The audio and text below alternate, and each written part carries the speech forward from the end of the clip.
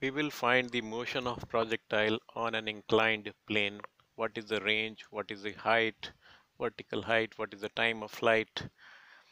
Let the projectile be thrown at an angle alpha from ground. Important, alpha is not with respect to inclined plane.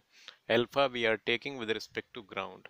If you take from inclined plane, the method will be same but the values will be different. Outcome will be the answer will be different as compared to when you take from the ground. The method is same. So the angle between the plane and the projectile is alpha minus theta. This angle will be alpha minus theta. Now let us take this plane inclined plane as the reference now. The gravity is downwards g and if you take now for the inclined plane the gravity is g cos theta because this angle will be theta. So we can solve this problem assuming that the gravity instead of g is g cos theta. So the vertical gravitational pull which is in this direction is g cos theta. Now solve the problem very easily these are the two points starting point and ending point and with reference to this plane with reference to this plane the total displacement is zero. I am saying in reference to the inclined plane and we know the equation S is equal to ut minus half plus half at square for any linear motion where a is the acceleration and u is the velocity s is the displacement. In this case the displacement is zero and the reference frame is this. Motion upwards is positive. Whatever is upwards is positive and whatever is downward will be taken negative. We are taking this plane as the reference.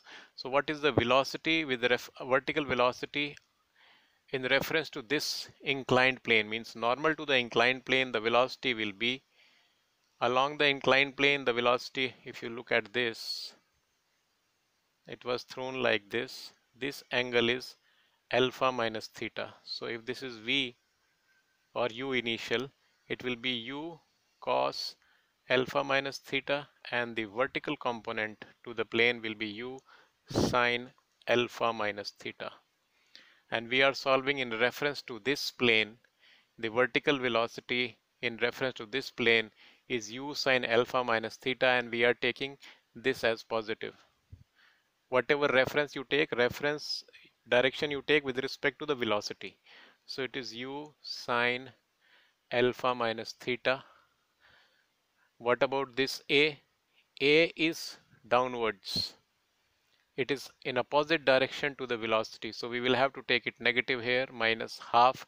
And what is the value of a is g cos theta g cos theta this is t here and t square. So you get value of t is equal to twice u sine alpha minus theta upon g cos theta. This is the time of flight. Now with this time of flight you will have in this time of flight you will have the maximum height h and to achieve this maximum height is achieved just at the midway. Like in case of normal projectile we have the maximum height at the midway. This is midway. And this is the maximum height. Similarly here at the midway you will have the maximum height. So at time t is equal to this is total time. So at time t dash is equal to t by 2 you have the maximum height. So t dash is will be equal to u sine alpha minus theta upon g cos theta is the time when you will have the maximum height. And at the maximum height you have the velocity vertical velocity will be zero. Now use this formula. V square is equal to u square plus twice a s. Final velocity is zero at the maximum height. This is again in reference to the inclined plane. Velocity perpendicular upwards from the inclined plane was u sine alpha minus theta. It will be u square sine square alpha minus theta plus but here a is again negative you have to take because it is opposing the direction of velocity. The acceleration is in opposite direction to the direction of velocity and direction velocity is the reference for us. So it will be minus twice g cos theta and s is the displacement so s comes as u square sine square alpha minus theta upon twice g cos theta and this is nothing but the maximum height so we have got the time of flight and also the maximum height. Now we have to find the range. So range is also very easy. First find the actual horizontal range. This. What will be the distance traveled? This distance. What is the velocity in this direction? Velocity in the horizontal direction is u cos alpha. Please be careful. u cos alpha minus theta was along the plane but along the ground will be u cos alpha. So velocity, actual horizontal velocity along the ground is u cos alpha, but along the plane was u cos alpha minus theta. There is no force acting in this direction. So speed will be distance which is x upon the total time. The total time was this twice u sine alpha minus theta upon g cos theta. So x comes as value of x will be twice u square cos alpha sine alpha minus theta upon g cos theta is the value of x. This is this. We want to find this range.